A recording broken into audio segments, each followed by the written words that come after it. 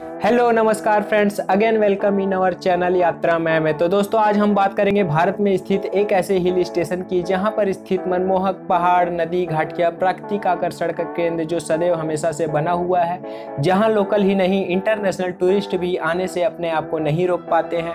जी हाँ फ्रेंड्स हम बात कर रहे हैं हिमाचल प्रदेश में मौजूद मनाली हिल स्टेशन की, जहाँ कपल्स फ्रेंड्स व टूरिस्ट अपनी छुट्टियाँ बिताने तथा ज़िंदगी के खूबसूरत पल जीने यहाँ आते हैं। यह स्थान केवल एक हिल स्टेशन ही नहीं, बल्कि धार्मिक स्थलों के कारण भी जाना जाता है। तो कपल्स, बैचलर, फ्रेंड्स, यह वीडियो है केवल आपके लिए। इस वीडियो में हम आपको बताएँगे मनाली से जुड़ी हर एक बात जो आपकी यात्रा को मंगलमय बनाएगा। और यकीन मानिए फ्रेंड्स, इस वीडियो को पूरा देखने के बाद आप बिना किसी कन्फ्यूज़न के ट्रिप प्लान आसानी से कर सकेंगे।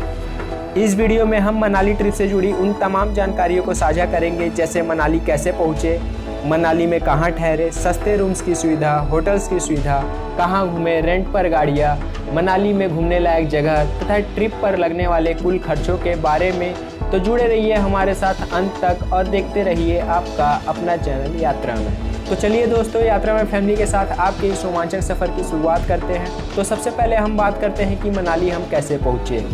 यदि पहले हम बात करते हैं बाई एयर की तो मनाली पहुँचना चाहते हैं अगर आप बाई एयर से तो आपको भुंतर एयरपोर्ट पहुँचना होगा, जो मनाली से लगभग 50 किलोमीटर दूर है।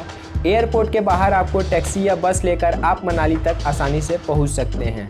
दोस्तों, आपको बता दें कि मुंबई, हैदराबाद और बेंगलुरु से भुंतर एयरपोर्ट के लिए डायरेक्ट कोई फ़्लाइट नहीं है तो आप चंडीगढ़ एयरपोर्ट तक का टिकट करा सकते हैं। चंडीगढ़ एयरपोर्ट से मनाली तक बस का खर्चा 900 से एक हज़ार रुपये के आसपास होगा। दोस्तों, यदि हम बात करें बाई ट्रेन की तो दोस्तों, पहाड़ी एरिया होने के कारण यहाँ कोई रेलवे स्टेशन नहीं है, लेकिन मनाली का सबसे नज़दीकी रेलवे स्टेशन जोगिंदर नगर है। इसकी दूरी मनाली से लगभग 150 से 160 किलोमीटर है। दोस्तों, जोगिंदर नगर रेलवे स्टेशन बहुत से छोटे बड़े शहरों से प्रॉपरली कनेक्टेड है। यहाँ पहुँचने के बाद आपको मनाली तक टैक्सी वगैरह आसानी से मिल जाएँगे। साथ ही आप अपनी सुविधा अनुसार चंडीगढ़ अम्बाला कैंट या दिल्ली से भी मनाली पहुँच सकते हैं। दोस्तों अम्बाला से मनाली की दूरी लगभग 340 किलोमीटर, चंडीगढ़ से मनाली की दूरी लगभग 310 किलोमीटर है और दिल्ली से लगभग 540 किलोमीटर है। तो फ्रेंड्स, आप इन रेलवे स्टेशनों तक पहुँचने के बाद आप बाई रोड आसानी से मनाली तक पहुँच सकते हैं। आपको बता दें कि दिल्ली से पठानकोट और जोगिंदर नगर के लिए डायरेक्ट ट्रेन अवेलेबल है। यदि आप इस रास्ते को चुनते हैं तो आप एक हज़ार से पंद्रह सौ रुपये में मनाली तक इजली पहुँच सकते हैं, जिसमें आपका टैक्सी का किराया भी इंक्लूड है। दोस्तों, आगे हम बात कर लेते हैं बाई रोड की। साथ ही आप सड़क मार्ग से मनाली की यात्रा करना चाहते हैं तो मेरे विचार से आपको यह सबसे सुगम व सरल रास्ता लगेगा, क्योंकि मनाली एन एच हाईवे के थ्रू बहुत से बड़े शहरों से वेल कनेक्टेड है। अगर हम दिल्ली से मनाली रूट की बात करेंगे, एन और एन के थ्रू बाई रोड 12 से 14 घंटे में आप मनाली पहुँच सकते हैं। अगर हम चंडीगढ़ से मनाली रूट की चर्चा करें तो लगभग छः घंटे का समय लगता है, जो एन एच से वाया रोड, बिलासपुर तथा मनाली के रास्ते होकर जाता है। साथ ही आप दिल्ली से भी वॉल्वो बस लेके तथा कैब बुक करके मनाली पहुँच सकते हैं। आपको वॉल्वो बस किराए के लिए हज़ार से पंद्रह सौ रुपये चुकाने पड़ सकते हैं। आपको अम्बाला कुल्लू, चंडीगढ़, दिल्ली से एसी और नॉन एसी बसें भी आसानी से मिल जाएँगी। फ्रेंड्स, नॉर्मल या ऑर्डनरी बस का किराया भी आपको 600 से 800 रुपए तक लग जाएगा। और हाँ दोस्तों, मैं आपको एक और बात बता दूँ कि यदि आप अपनी गाड़ी से मनाली ट्रिप पर जा रहे हैं तो आपको मनाली में ग्रीन इंट्री का टोल टैक्स पटाना पड़ सकता है, जिसमें टू व्हीलर जैसे बाइक और स्कूटी के लिए 100 से डेढ़ सौ रुपये और यदि आप कार वगैरह से आते हैं तो टोल टैक्स बढ़कर 200 से 300 रुपये तक हो जाता है। साथ ही यदि आप वॉल्वो बस एसी या non AC buses online book कराना चाहते हैं तो आप H R T C H P dot com में ऑनलाइन बुकिंग कर सकते हैं। जी दोस्तों, अब हम मनाली पहुँच चुके हैं तो अब हम बात करते हैं मनाली में कहाँ रुके। अगर मैं आपको मेरे एक्सपीरियंस के हिसाब से बताऊँ तो आप हिडिम्बा देवी टेंपल के पास होटल्स बुक करा के रुक सकते हैं, क्योंकि यहाँ का एरिया बहुत पीसफुल है। तथा यहाँ से इजली आप घूमने के लिए निकल सकते हैं। टेंपल के आसपास ही आपको मार्केट और शॉपिंग मॉल्स भी देखने मिल जाएँगे। दोस्तों, यहाँ के फ़ेमस होटल्स रूम्स आपके सुविधा अनुसार 500 से 1500 सौ में अवेलेबल हो जाएँगे। साथ ही यहाँ से आउटिंग के लिए टैक्सी कैब्स की आसानी से सुविधा आपको मिल जाएँगी। आप यहाँ से मनाली के नेचुरल वाइब्स को पास से यहाँ एक्सप्लोर कर पाएँगे। हिडिम्बा देवी टेंपल एरिया से दूरी मनाली की लगभग 2.2 किलोमीटर है। तो चलिए अब हम आगे बात करते हैं मनाली ट्रिप में कौन सा सीज़न बेस्ट होगा। दोस्तों, मनाली एक ऐसा हिल स्टेशन है जहाँ आप पूरे साल हॉलीडे इन्जॉय कर सकते हैं। वैसे तो मनाली के लिए पिक सीज़न नवंबर से फरवरी तक का होता है, क्योंकि मनाली ज़्यादातर लोगों को अपने स्नोफॉल के कारण ही अट्रैक्ट करता है। स्नोफॉल का आनंद लेने के लिए यह सीज़न परफेक्ट है। बट पिक सीज़न में भीड़ भाड़ होने के कारण आपको पैसे थोड़े ज़्यादा खर्च करने पड़ सकते हैं। और अगर आप ऑफ़ सीज़न में जैसे मार्च से अक्टूबर के बीच पहुँचते हैं तो हो सकता है आपको स्नोफॉल ना देखने मिले, फिर भी वहाँ आप भरपूर इंजॉय कर सकेंगे। साथ ही बहुत से गेम्स का आनंद भी आप वहाँ ले सकते हैं। ऑफ़ सीज़न होने के कारण बहुत से होटल्स अपने गेस्ट को कई चीज़ों में छूट भी देते हैं। यहाँ के टेम्परेचर की बात करें तो दोस्तों, अक्टूबर से फरवरी तक तापमान ज़ीरो डिग्री सेल्सियस से एक डिग्री सेल्सियस तक होता है और मार्च से जून तक तापमान 10 डिग्री सेल्सियस से 25 डिग्री सेल्सियस। साथ ही साथ मानसून में यहाँ का तापमान जुलाई से सितंबर का 16 डिग्री सेल्सियस तक पहुँच जाता है। साथ ही दोस्तों, आपको एक बात और बता दें कि यहाँ आप गोवा की तरह ही गाड़ियों को रेंट पर लेकर अपने ट्रिप को सुगम और आसान बना सकते हैं। यहाँ आपको अलग अलग वाहन 600 से 1600 रुपए तक में उपलब्ध हो जाएँगे, जिनमें पेट्रोल आपका खुद लगेगा। यहाँ से आप प्राइवेट टैक्सी को भी रेंट पर ले सकते हैं। इसका किराया आपको कम से कम 1200 से 2000 रुपए खर्च करने पड़ जाएँगे। साथ ही लोकल बस सर्विस के थ्रू भी आप पच्चीस रुपये में भी सफ़र कर सकते हैं। वैसे तो दोस्तों, आप इन सभी आसपास के जगहों पर पैदल भी जाकर अपने बजट को बैलेंस आप कर सकते हैं। आइए फ्रेंड्स अब हम बात करते हैं कि मनाली में क्या खाए पिए। तो हमें यह बताते हुए खुशी है कि आपको यहाँ खाने पीने को लेकर कोई भी दिक्कत नहीं होगी, क्योंकि यहाँ हर नए प्रकार के व्यंजनों का लुत्फ उठाने का सुनहरा अवसर आपको मिलने वाला है। यहाँ आपको चाइनीज़ इंडियन फ़ूड तिब्बती फ़ूड आसानी से प्रोवाइड हो जाएँगे। साथ ही यहाँ आपको बहुत से कैफ़े मिल जाएँगे, जो आपको खाने में बेस्ट आइटम्स व क्वालिटी टाइम स्पेंड करने के लिए प्राइवेसी भी देते हैं। यहाँ आपको पिज़्ज़ा मोमोज स्नैक्स एप्पल से बने व्यंजनों के साथ साथ याक के दूध से बने पनीर चखने का भी आनंद यहाँ आपको मिलेगा।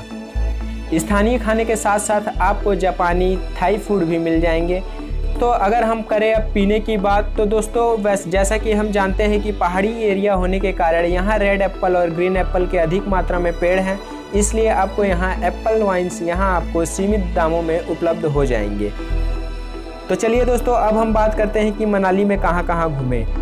जैसा कि हमने आपको पहले ही सजेस्ट किया था कि आप हिडिम्बा देवी टेंपल के आसपास ही होटल रेंट पर लेकर स्टे कर सकते हैं। तो दोस्तों, हम सबसे पहले हिडिम्बा देवी टेंपल में ही घूमने जाएँगे। यह मनाली से लगभग एक किलोमीटर की दूरी पर है। इसकी ऊंचाई जमीनी तल से 80 फीट लगभग है। मंदिर पत्थरों व लकड़ियों से बना हुआ है। इस मंदिर को 1533 ईस्वी में राजा बहादुर सिंह ने बनवाया था। इस मंदिर के भीतर एक चट्टान है, जिसे हिडिम्बा देवी का स्थान माना जाता है। साथ ही घटोत्कच की पूजा भी एक फ्रिज के रूप में की जाती है। यहाँ आपको फ्री एंट्री मिल जाएगी। दोस्तों, इसके बाद आप वन बिहार जा सकते हैं। वन बिहार देवदार के पेड़ों से घिरा और हरियाली से भरपूर शहर के नगर निगम द्वारा संचालित किया जाता है। यहाँ आर्टिफिशियल झील है, जो कि मुख्य आकर्षण का केंद्र है। साथ ही बच्चों और कपल्स के लिए बहुत सारे झूले भी हैं। शाम को आप पार्क की सैर साथ ही साथ ढलते हुए सूरज को भी देख सकते हैं। फ्रेंड्स इस पार्क में पर पर्सन एंट्री फ़ीस पाँच रुपये लिए जाते हैं। पार्क खुलने का समय मॉर्निंग आठ बजे से शाम सात बजे तक का होता है।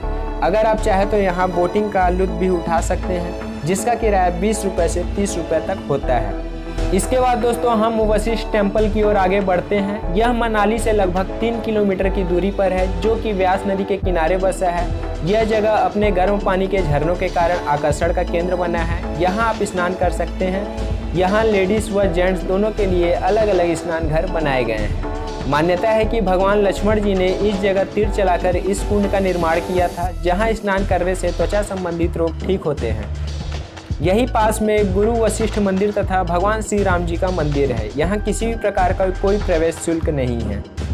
आगे हम मनु टेंपल की सैर पर जा सकते हैं। मान्यता है कि मनाली का नाम भी प्रथम मानव मनु के नाम पर ही रखा गया था। मनु टेंपल मुख्य बाज़ार से तीन किलोमीटर की दूरी पर है और व्यास नदी के ठीक किनारे है। फ्रेंड्स, इस मंदिर के आसपास सुंदर पत्थरों पर देवताओं की नक्काशी की हुई है। साथ ही मंदिर के अंदर आपको फ़ोटो लेने की कोई परमिशन नहीं है। पर आप मंदिर के बाहर अपनी अच्छी अच्छी फ़ोटो क्लिक कर सकते हैं। यह मंदिर हिडिम्बा टेंपल से लगभग तीन किलोमीटर की दूरी पर है तो आप यहाँ भी घूमने अवश्य आए। दोस्तों, हम सोलांग वैली भी जा सकते हैं, जिसे स्नो वैली भी कहते हैं। नवंबर से फरवरी के बीच इसका नज़ारा बहुत ही आकर्षित होता है। यह एरिया ज़्यादातर अपने गेम्स जैसे पैराग्लाइडिंग, पैराशूटिंग, ट्रैकिंग तथा पर्वतारोहण के लिए अट्रैक्शन का केंद्र हमेशा से बना हुआ है। मनाली से इसकी दूरी लगभग 13 किलोमीटर है। एडवेंचर गेम्स के शौकीन कपल्स व बच्चे यहाँ पर एंजॉय कर सकते हैं।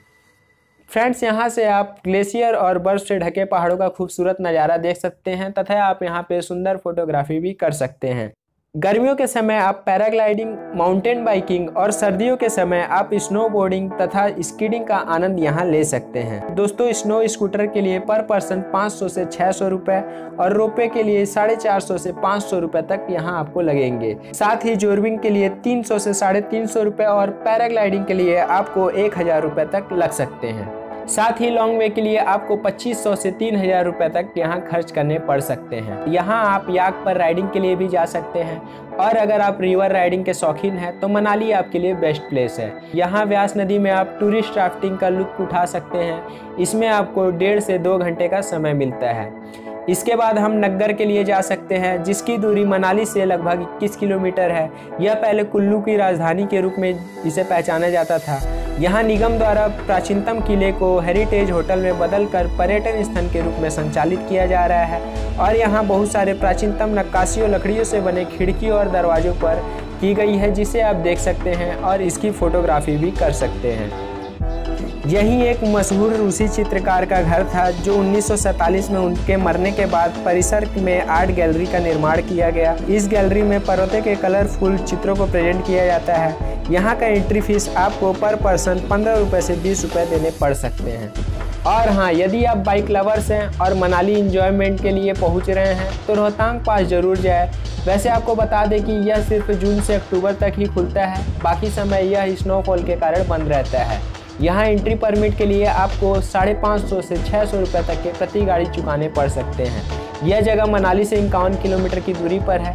यहाँ ऊंचाई पर जाकर और चारों ओर के नेचुरल व्यू को देखकर आप यहाँ इस जगह पर चकित अवश्य हो जाएँगे। फ्रेंड्स आगे आप ग्रेट हिमालयन नेशनल पार्क जा सकते हैं। मनाली से इसकी दूरी 50 किलोमीटर है। यहाँ घूमने का सही समय अक्टूबर से नवंबर है। सर्दियों में यहाँ स्नोफॉल और बहुत ज़्यादा ठंड पड़ती है। तो यहाँ आप सर्दी में जाना अवॉइड करें। यहाँ आपको कुछ जीव ऐसे भी देखने मिलेंगे जिनकी प्रजातियाँ विलुप्त हो रही है। यहाँ आपको नीली भेड़, कस्तूरी मृग, एशियाई काले भालू, हिम तेंदुआ और भी बहुत से जीव जंतु और पेड़ पौधों की वैरायटी आपको यहाँ देखने मिल जाएँगी। इन सभी जगहों में घूमने के बाद अगर आपके पास समय बचता है तो जोगिनी झरना, ओल्ड मनाली पर्वत घाटी, भृगु झील, हम्पटा दर्रा जैसे जगहों पर भी आप जा सकते हैं।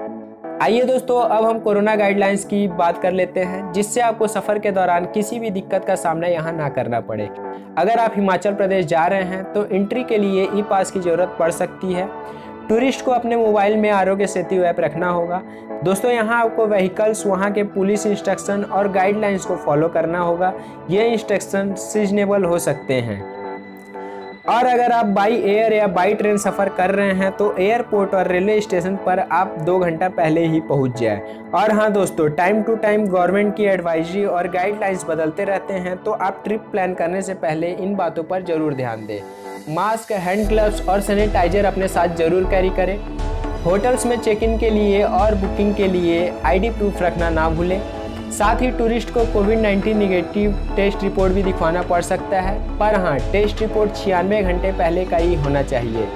फ्रेंड्स, कुछ सुझाव मैं आपको पर्सनली देना चाहता हूँ, जैसे मनाली पर्यटन स्थल के साथ धार्मिक स्थल होने के कारण यहाँ कई मंदिरों में चमड़े से बने वस्तुओं तथा फ़ोटो क्लिक करना अलाउ नहीं है तो आप इस बात का ध्यान अवश्य रखें। यदि आपको किसी भी प्रकार की शॉपिंग करनी हो तो आप मॉल रोड स्थित मार्केट से ले सकते हैं, क्योंकि यहाँ अच्छे रेट में चीज़ें उपलब्ध हो जाएँगे। किसी भी यात्रा गाइड को अपने साथ लेने से पहले रेट पहले ही फिक्स कर लें। दोस्तों, मनाली में बार्गनिंग की अधिक बोलबाल है तो आप भी किसी रेट्स के लिए बार्गनिंग ज़रूर कर लें। तो दोस्तों, आइए अब हम बात कर लेते हैं आपके द्वारा लगने वाले कुल खर्चे और लगने वाले कुल समयों के बारे में। फ्रेंड्स मेरी जर्नी के अकॉर्डिंग आप चार से पाँच दिन में पूरी मनाली आसानी से कवर कर सकते हैं। दोस्तों, यदि लगने वाले कुल खर्चों की बात करें तो आप टिकट और होटल्स के खर्चों को निकाल दें तो आप आसानी से चार से छः हज़ार रुपये में मनाली ट्रिप को एंजॉय कर सकते हैं। पर हाँ दोस्तों, लेकिन यह आप पर डिपेंड करेगा कि आप कितना खर्च कर रहे हैं और कितना बचा पा रहे हैं। तो दोस्तों, मुझे उम्मीद है कि यह वीडियो आपकी यात्रा में ज़रूर काम आएगी। और यदि आपको यह वीडियो पसंद आए तो आप इस चैनल को सब्सक्राइब ज़रूर करें और साथ ही साथ इस वीडियो को उन लोगों के साथ ज़रूर शेयर करें जिसके साथ आप मनाली ट्रिप इंजॉय करना चाहते हैं। लाइक कमेंट करने के साथ साथ ही आप हमारे प्रीवियस वीडियो देखना ना भूलें, जिसका लिंक डिस्क्रिप्शन में दिया गया है। हमारी कामना आप सभी की यात्रा मंगलमय हो। धन्यवाद।